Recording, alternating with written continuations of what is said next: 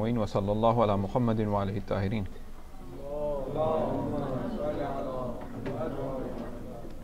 when Hazrat when Namrud lights up the fire to put Hazrat Ibrahim alayhi salam and uh, there was a little bird with some water in the beak in the beak in order to put off the fire and then either Jibreel or an angel appeared and inquires that what good will this water do uh, to put off the fire that Namrud have lit? She replied that this is what she could. This is the ability that she has and it is the or this is the utmost ab- ability that she has and she is fulfilling that. So for our youth for ourselves it is a responsibility to uh, raise our voice against injustice. Obviously uh, it as a priority when it happens in our community you know uh, to our uh, brothers to our scholars. So the demonstration that happened here organized by some of the brothers and sisters from Florida and some of them who participated from here.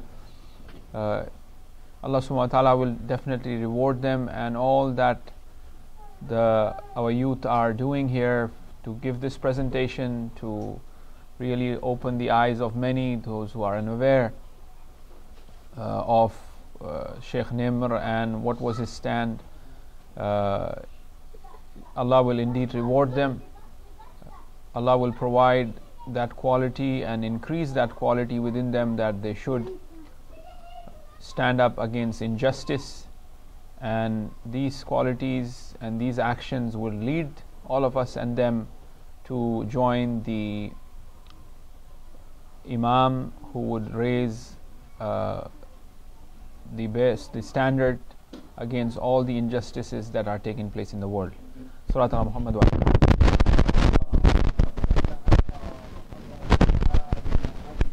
Welcome once again to our second part of our tonight's activity uh, in which we uh, it's an interactive session and we are looking at the authority uh, in uh, in Shia Islam you know where the authority lies. Uh, just a quick recap uh, from what we have discussed or maybe anybody could could help me here if they could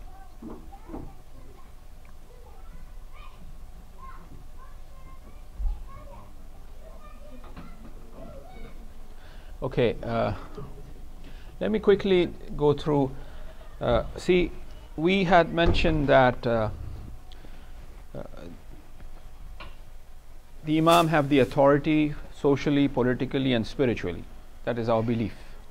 And this belief is uh, of the 12 shias of the those who believe in the 12 imams and also of the ismailis as well uh, and there are other sects who do not exactly believe in the same way as we believe that the imams have the political spiritual and um, uh, and uh, social authority but they only believe that the imam have the political authority such as the zaydis but they follow the sunni fiqh for example. Uh, or the other um, uh, sects if you want to call them or groups such as the sufis you know they tend to believe that the imam have the spiritual authority but when it comes to the political authority that could be possible that it that it is given to who are sunnis for instance and they do believe in the khulafas for instance. Uh, but the, the 12 shias are the uh, the one who believe that uh, in the spiritual political and religious authority of the imam. And uh, till the 12th imam same belief. After the 12th imam there wasn't any issue because they were uh, you know deputies of the imam appointed by the imam they were the uh, in charge or they had the authority. Uh, and uh, the traditions point out to that they had the sole authority basically of religion of any sort of connection that the authority of the imam was the authority of the deputies you know, of, of the imam the naib the nawabs uh, who was uh, who were appointed by the imam. Then you also have the discussion of uh, two types of authority, and that is the authority which is am, meaning that a general, you know, deputyship or the general authority of the deputies, uh, the representatives of the imam, and the khas, which was for these three, for example. Now, uh, in the in the major occultation, the Shia Islam went through a lot of development, lot of you know, uh, in terms of it, it's progressed a lot. And uh, the, the the reason why because it had that uh, that knowledge and that understanding, that ideology within it, that allows it to grow, that allows the ijtihad. It wasn't stagnated in terms of the religious Sharia system or the law system, the legal system, the penal system. The, the, it had that space through those who are expert in the Quran, those who are expert in the Hadith. They could come up with ideas and laws that will govern uh, the society and community and that could answer any issues that the community would face. But as the community was uh, you know was developing the society was developing as well new issues were coming into you know uh, into existence in terms of politics uh, as we have seen in the history that the uh, the Shia scholars have always been part and parcel of the Shia dynasties. They have advised the kings uh, the Safavid or the Qajar or you know the other dynasties that extended to the Asia and Central Asia and South Asia as well. They always had a Shia scholar who um, uh, who basically uh, guided them in the issues of faith, in the issues of religion. Now, uh, there were a couple of uh, scholars who played a major role to uh, to resolve this problem, uh, which the Shias were facing of authority. Uh, these scholars such as the, the, the, most recent one would be Naini, which we just uh, we mentioned earlier, but it's important to bring his name again. Why? Because of this understanding of the Sharia and social change, and where lies the authority. As we said, Shaykh Mutahari points out to that the Sharia is something that is fixed. Is Sharia fixed or not? well this is after I think Sharia is fixed you know it cannot be changed. You know can you make two rakat prayer one rakat? Can you break your fast in you know lunchtime and then continue after that? So it's something that is fixed. You know can you you know instead of going anti-clockwise can you go clockwise against you know eh, near Kaaba? So therefore these things are something the Sharia seems to be fixed unchangeable irrevocable but the society is always changing, things are changing in society. Um, so this gave a, a, a, sort of problem to the scholars at that time that what we got to do now, you know, because uh, the society is changing, new things are coming, like, like, of, uh, like uh, as of today, for example, cloning, people traveling to the moon and Mars, and recently, you know, one of the Virgin flights apparently got crashed, uh, which they were trying to take humans to the space. You know, it was a test flight, uh, which was which where they were they were, they I think they were supposed to launch launch next year, and this happened. You know, the, so now what if if we go in Mars? In which direction we are going to pray? Uh, as the day is much longer than the Earth, so if we go in Mars, does that means that Quran is not there? Does that mean we are not Muslims? We are in Mars. You know, we don't have to fast. We don't have to pray if the fast is from sunrise to sun, sundown, you know, day in Mars is much longer, for example. So, what are we going to do? So, society is always changing. Sharia cannot be changed.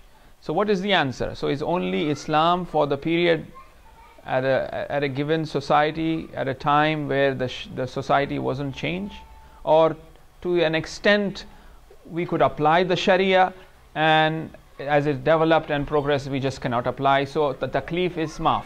So we are, you know, we are bari, we are relief from any sort of, um, you know, uh, practice of deen, because this, the the the the, uh, the verse says of the Quran from sunrise to sunset. I am living in Alaska, there is no sunset at all. So, am I going to fast and die? You know, is that what Allah wants me to, or what? So, that means I don't need to fast. You know. Uh,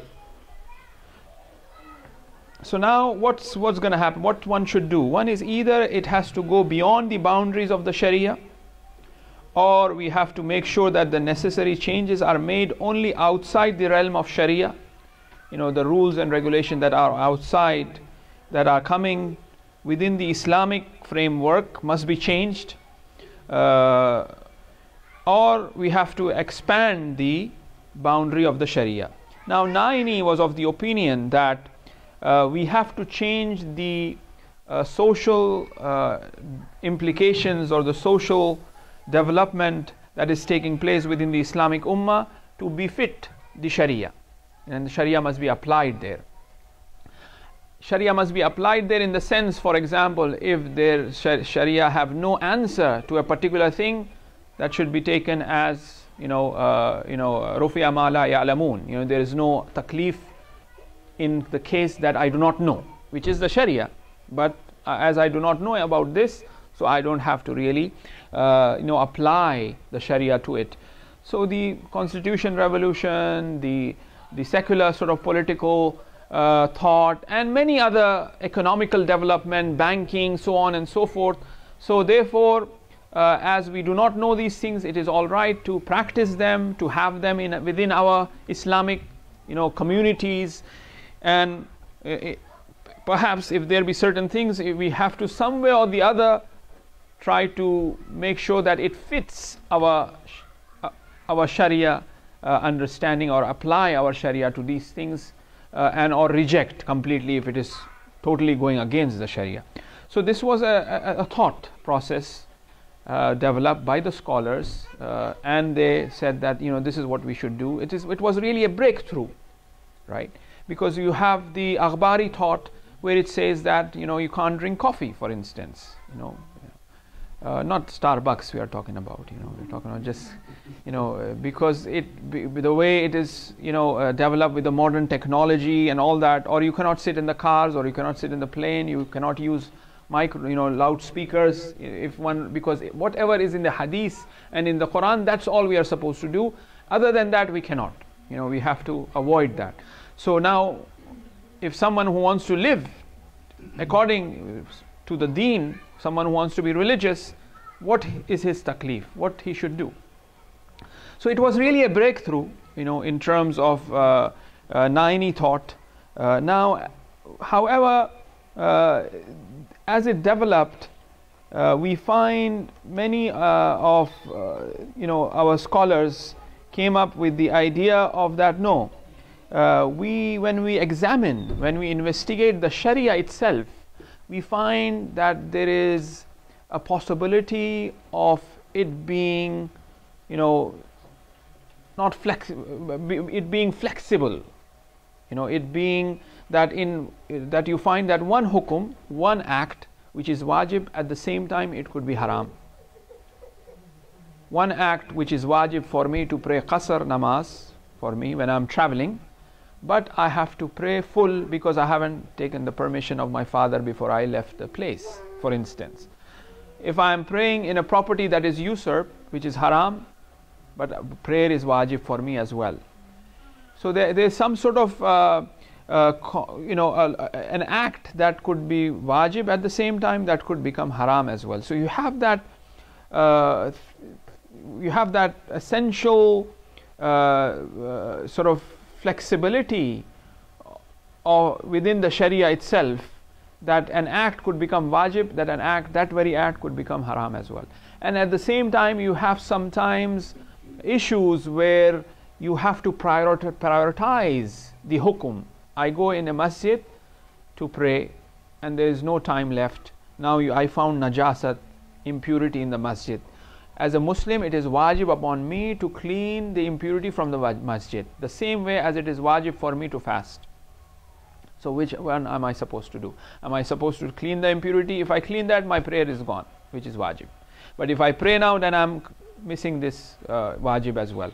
So therefore, you have these issues within the Sharia which allows us to really prioritize things, which really allow us to think and perhaps you know uh, extend the uh, uh, the rigid or the limitation that one would be put by practicing the Sharia. So that means that we could expand the laws or the Sharia to, to really contain the development of the community and of the society. So the Sharia could be expanded. You know that that that was that was an opinion uh, that came about. You know after uh, Shaheed sort of uh, Mutahari uh, looks into this issue. But there was another thing which was quite interesting that Shaheed points out to, and that is we do not really have to uh, do not really pay attention to, to the slide. I just want to reach to the point uh, where uh, where we stopped. Salat ala Muhammad wa ali Muhammad.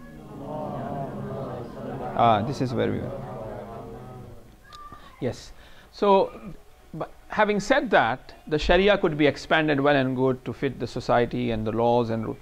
but there is something within Islam and within the Sharia, within the Quran, within the Hadith that could really be very organic.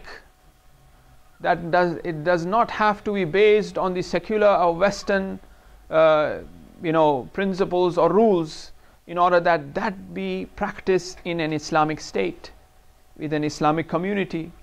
So the West believe the best way of governing is democracy.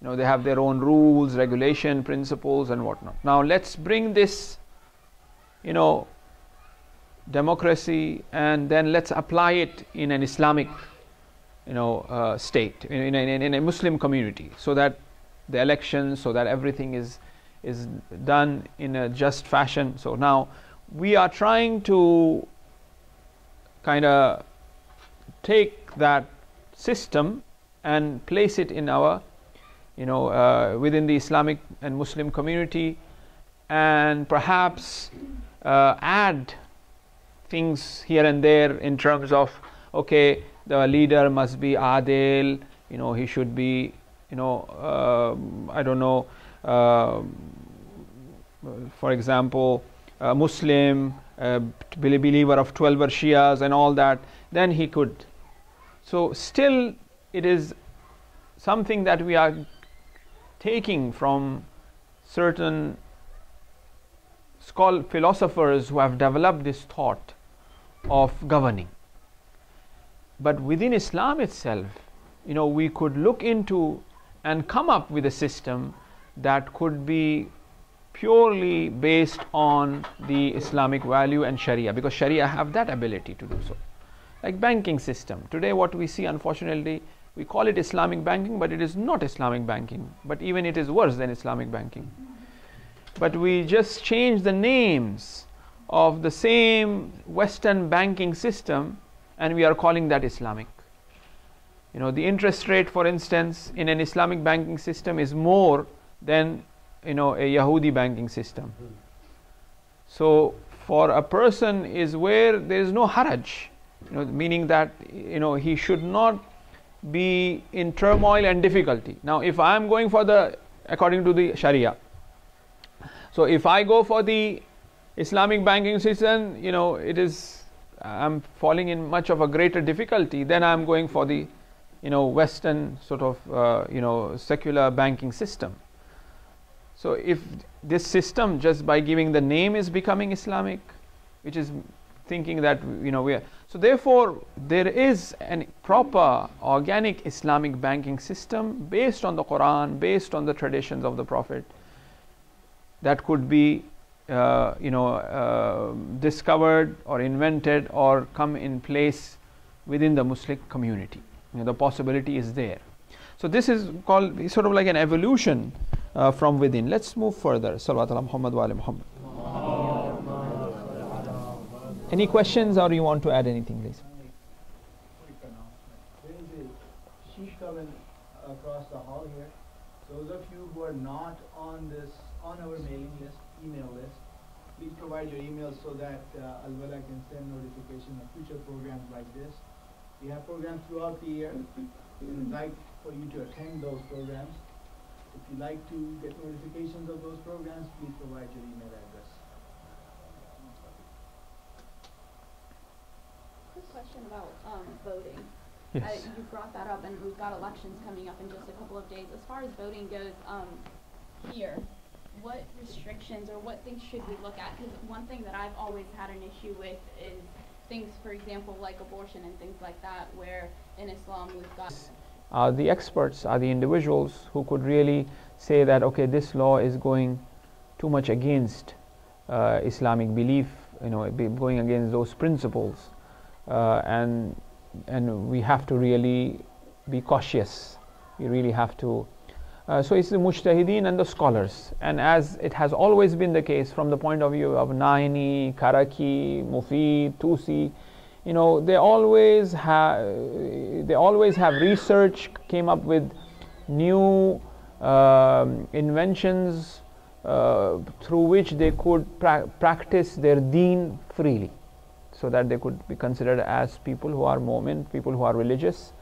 Uh, so it has always developed, it has always progressed. That is what we call ijtihad. Now, Imam Khomeini bases, uh, based this sort of uh, theory of governance, uh, which he called or he, regard, he called it as wilayat faqih now. Now, within this understanding of wilayat faqih is not something that was coined by Imam Khomeini at, uh, you know, to begin with. Obviously, what uh, Naini is talking about is also wilayat faqih. You know, what Sheikh Mufid have talked about is also wilayat faqih. You know, it's the governance of the faqih. You know, the faqih, the deputy, which is naib am of the imam, he is he has the right to carry out the hudud, to you know, to really execute religious laws. So, so it's wilayat faqih. So it's not like uh, do not get afraid or do not label uh, you know uh, individuals or people oh you know this is wilayat faqih and this is you know it's it's it has been there all the time. Is wilaya means the governance of the faqih from the time of the mufid you know sheikh mufid. Uh, and be allah's mercy be on all of them so now within the framework of the wilaya amma within the framework of the wilayat the governance the deputyship of the scholars you know who are mujtahideen and maraje you have discussions in terms of the authority and how far and how far it could be stretched to what level you know he could uh, you know widen the sharia. And and imam khomeini's understanding is very liberal. You know it's it's quite amazing that uh, that he is you know of the opinion that it could just he has an absolute uh, authority uh, to really twist and turn and add and subtract in regards to the law now my point is you know for those who tend to be uh, you know get, get into the discussion of wilayat mutlaq faqih means whoever is outside this understanding you know is someone who is not a muslim is someone who is not on the khat for example you know. When the sharia itself is so sort of flexible how can the followers of this thought is not flexible i mean it doesn't make sense. It's a contradiction in itself.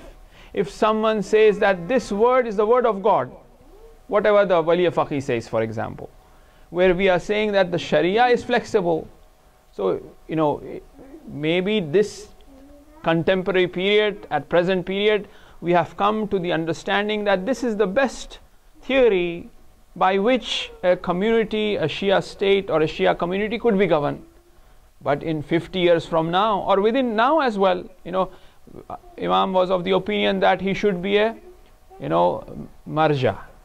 Then later on he had to change that he should be a mujtahid you know from marja. He changed it.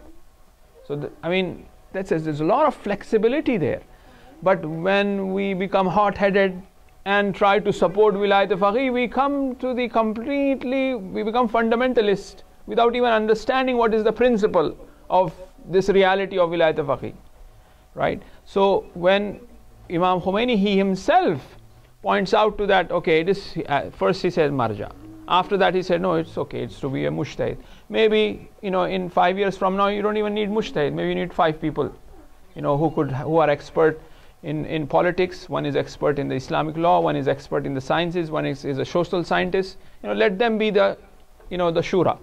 You know, let them really make up the Islamic state laws, for example. So it's something that is very flexible and it is still developing. You know, if we say that this is the law of God and we are willing to sacrifice our life, it is a very typical bloodshed that took place between the usulis and akhbaris. You know, we haven't really understood the, uh, the, the, the, the reality of ijtihad here, right? So we have to allow that, that investigation, that research, uh, that freedom of expression, uh, you know, within the within these uh, uh, th- different theories that exist for the betterment of the community and of the you know of of, of, of, of Muslims at large. So in his view, Wilayat Faqih is the solution for making Sharia compatible with structural changes in society in an absolute manner. This is really amazing. Unfortunately, people tend to express this uh, like, oh, you know, all of these people who uh, are kind of, you know, do, do, not really understand, uh, like Fox News and all that. Is oh, Wilayat Faqih, you know, Nasrallah, if he, if Khamenei says to divorce his wife, he's going to divorce his wife. You know, they, they use these examples to really, you know, uh, to kind of criticize. And you don't really exactly know, you know, what does that mean? And there are so many uh, sort of clause. There's so much of research that has gone into it uh, you know, wilayat mutlaq faqih means it's, you know, the, the, the, the, the only work or the only sort of uh, duty of the wilayat al faqih is to ask to divorce the wife, you know. Like he has nothing else to do, but asks every person who follows wilayat faqih, oh, you should divorce the wife, and they will say, yes, we'll divorce your wife. Come on, come on. You know, it's, it's, it's, that's not the case. That's not the way to approach, you know, the system. I mean, it's a political, uh, uh, political development in the Shia authority, in, in the Shia authority, in the system of Shia authority, uh, that should be considered. You know, how how democracy fits in, uh, who is who who is the one who could be considered as as uh, the wali faqih? Is he gonna be like a dictator, uh, or is he gonna be elected by the people? Once again, you have the expression and the vote, uh, people voting him rather than he is just appointed you know there's a lot of things that is still un, you know uh, still um, requires uh, development now but how we would how would he go beyond the express law? The following statement included in the message of to the ulama on the 22nd of February 1988 so if you look at it 1988 which is about 10 years or 11 years after revolution still the scholars doesn't understand what he's talking about. Because they were concerned that what is he really saying? It's uh, it's uh, it's madness. It's absurd wilayat mutlaq is absurd. You know you are coming here for example you are saying that you know today you don't pray. Because mutlaq faqih that's what it means. When the wali faqih says you don't pray you don't pray for example. You know it's to that extent right? Is mutlaq means that. He has the governance to that extent where he could change the sharia. So they were still confused of his uh, you know of, his understanding what he what he really meant by that. Now he says that time and place are two key factors for ijtihad you know this zaman and makan he talked about.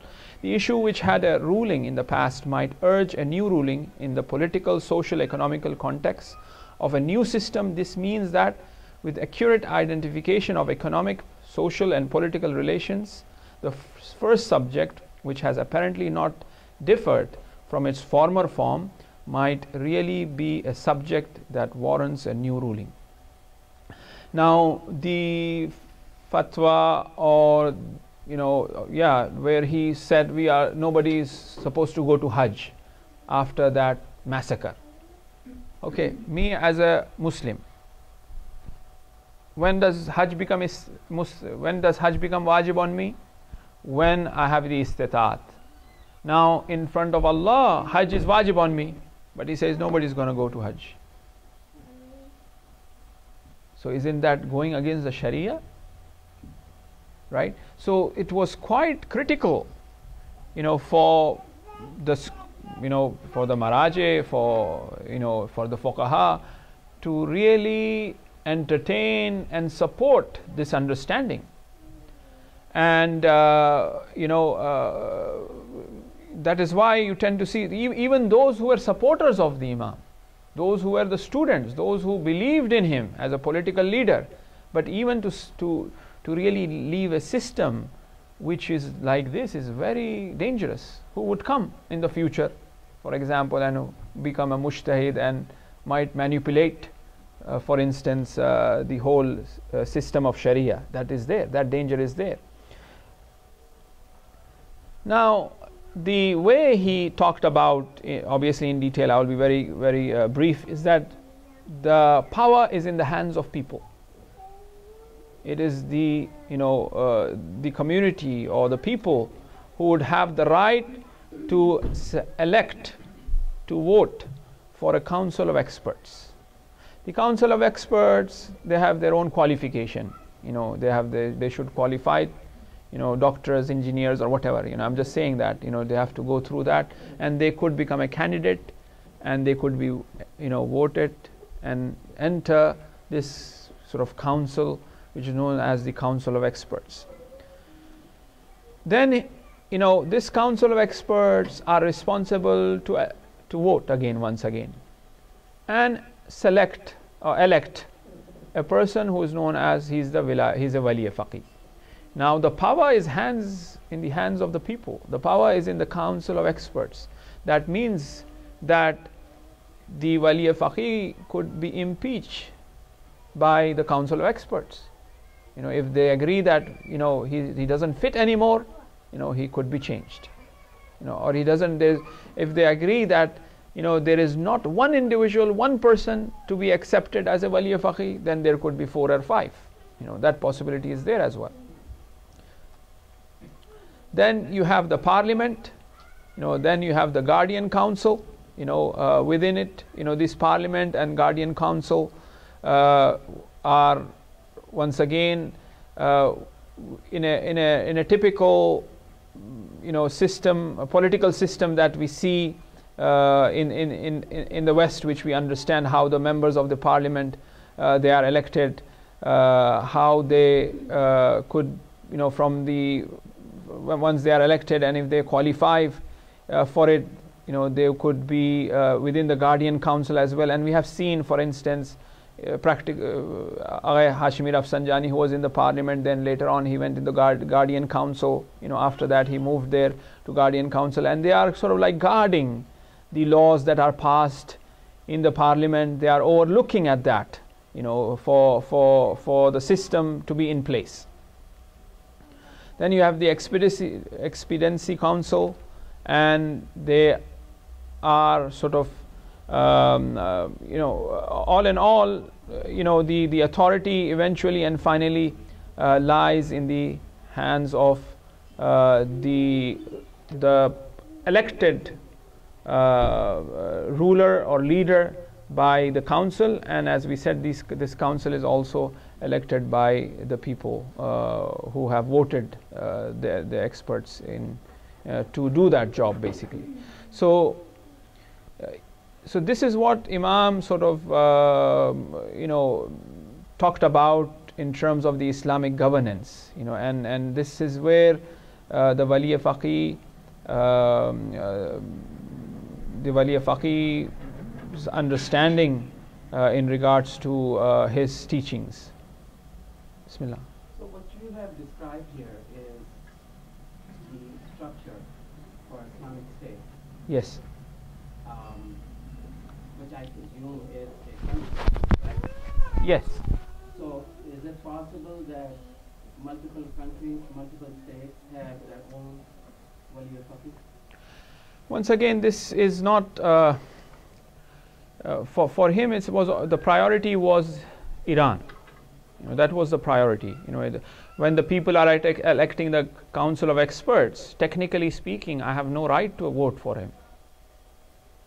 I have no right to vote for the council of experts as of today. You know, I cannot go there and vote for, you know, uh, you know, for, for, for the council of experts to come in. So, so technically, it, it is out of the question, according to what he, you know, uh, have uh, have have uh, you know have uh, placed or given the system.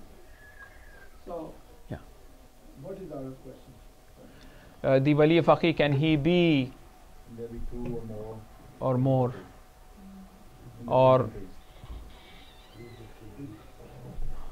Like if, if, if Iraq has, has a Shia government, or they have a similar, they can have their own Khalifa too, right? Yes. Now the point is, see, we are saying we are saying that it is still sort of lucid. You know, it's not concrete. It is developing. The possibility. I mean, the aim is to really reach there where there is one wali faqih. so, so here's my follow-up, Yeah. sorry I'm interrupting you, but, so how can, in a, in a case like that, if I am not an Irani citizen, how can the Islam of a Wali Faqih apply to me? Right. Now, we, we, initially we talked about the the wilayat amma, the, the, the, the deputyship of the scholars. They are the representatives of the imam. So till there we are together, right? We believe them to be the the representative of the imam. Now, if we believe that this council of experts are the mujtahideen, are the maraje, you know, and now they have elected wali faqih. So my allegiance or my uh, uh, you know my allegiance would be to that one person because they have because the ulama the mujtahideen have the wilayat amma and the mujtahideen and the uh, maraje who have the wilayat amma they said that okay you know we will have this person as as the one who represent you know uh, unanimously they say that this person is the one who is the marja or who is the wali faqih You know, you who have- said that you have not voted for the council. Yeah, I mean, technically speaking, you know, we would be saying that if that is the system that he has based on, if we look at, as we said, it is still developing. We really have to really uh, come to terms. Uh, that's the beauty of our school. That you know, it is, uh, and and It can evolve. Yes, it is. is yeah, yeah. Uh, how is this system is not different than adapting um, uh, the secular system? If you're giving the power to the people again, and you're just placing one person in the middle, and that's it. You're saying this is Islamic?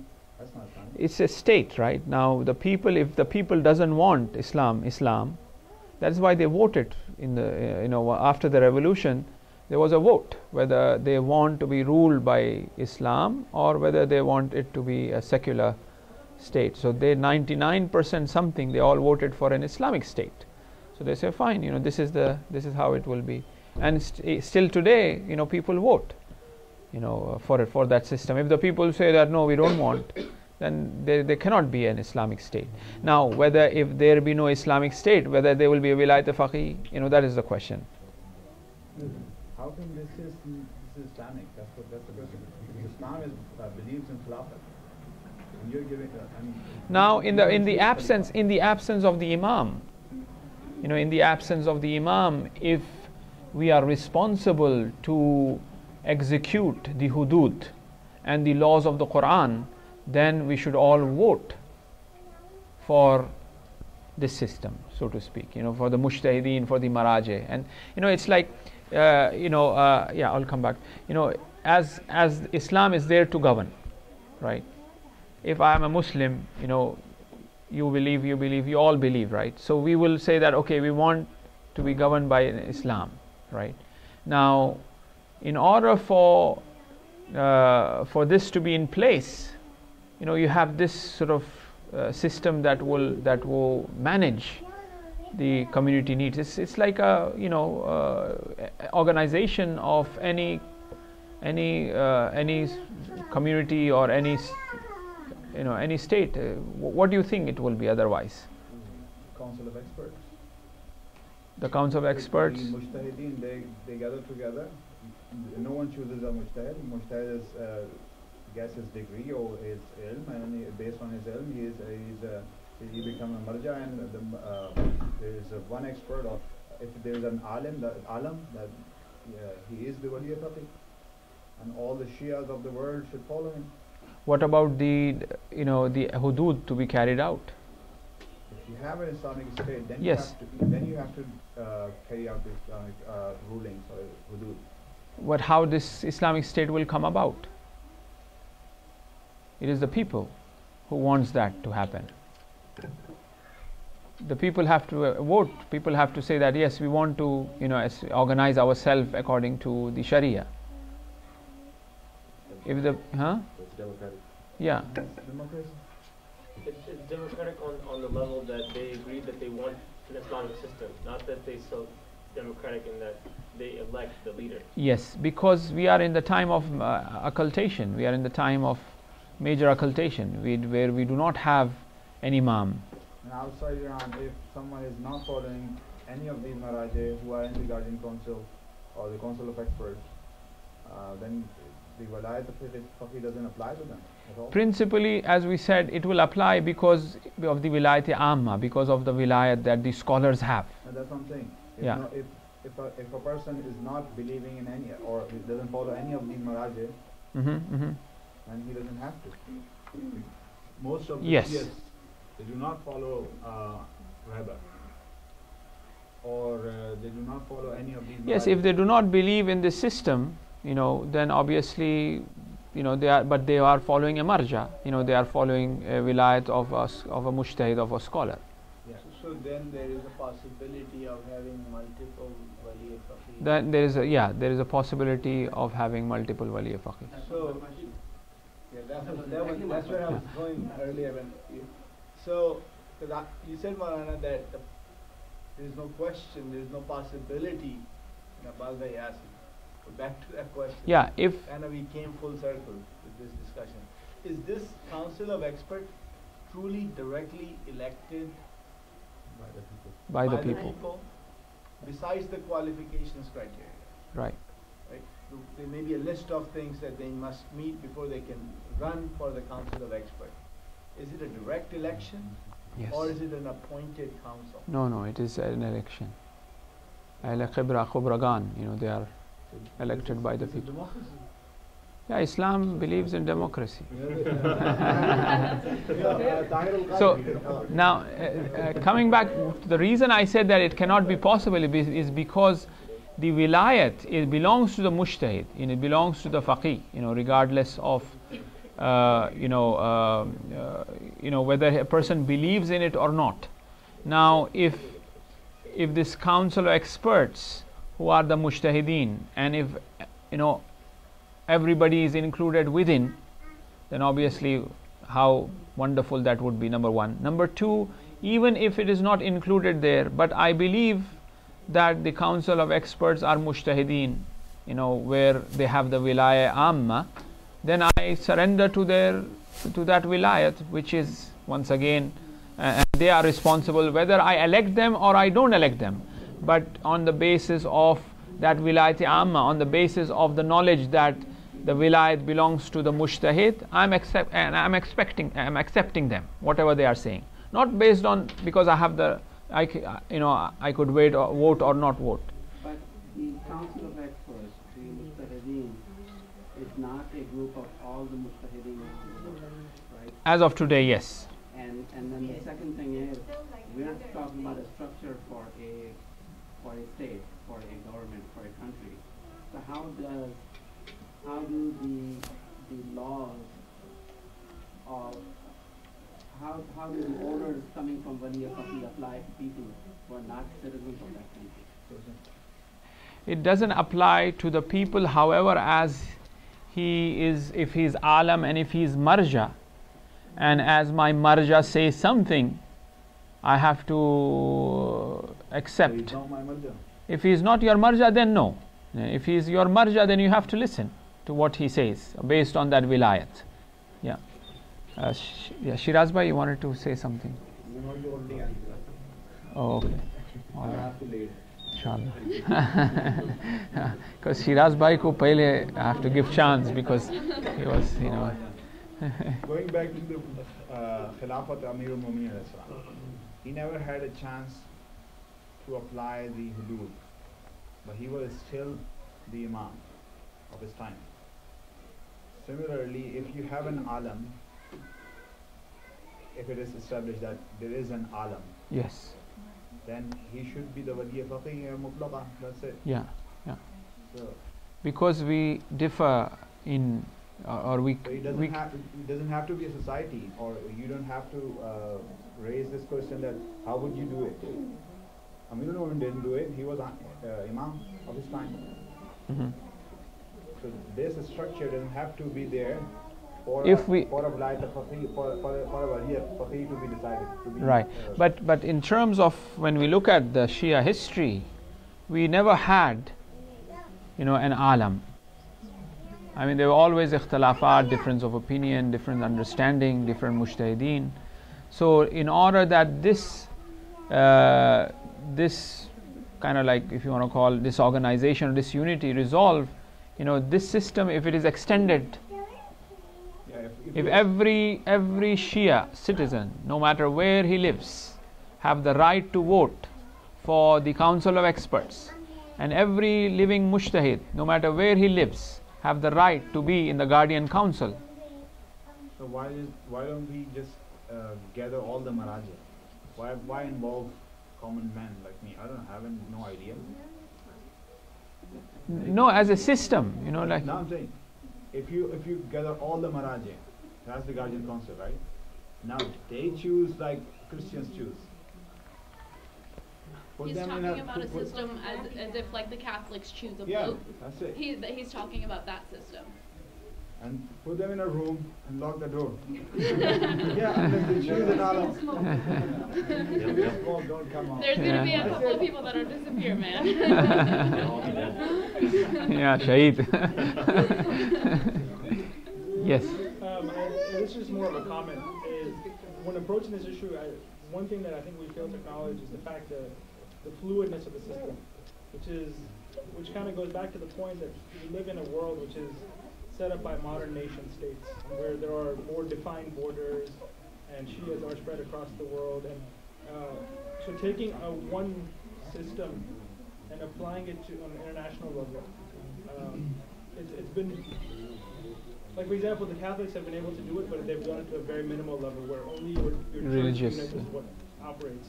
Their finances and everything is only within the church unit. It's not within all of society. So I think uh, a system like this, at least the one that you presented, is, uh, for lack of a better word, premature in the sense that it has been able to come up with a model Definitely, yeah. for a Yeah, for the whole nation-state nation. model Yeah. across the world. Yeah. So can it be, instead of faqih, can it be like philosopher or? Faqih is a philosopher. and that, that is why Imam, you know, he had that, you know. No, we, in- why about wilayat or power? yeah. For a spiritual, for a spiritual uh, yeah, if there if be there if there be sort of a, a, a group of council or what do you call shura, you know, they all sit there, five or six. Maybe one of them is someone who is, you know, arif, you know, in that sten- sense of the word, you know. So, uh, any more uh, more add? इंशाल्लाह बस चले बस हाँ ठीक है Thank you. خوبه آقای مجیدی شما می‌بینید؟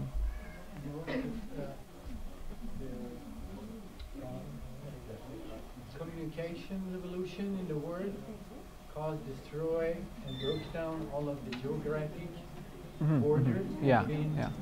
force and life with the nation in the Middle East.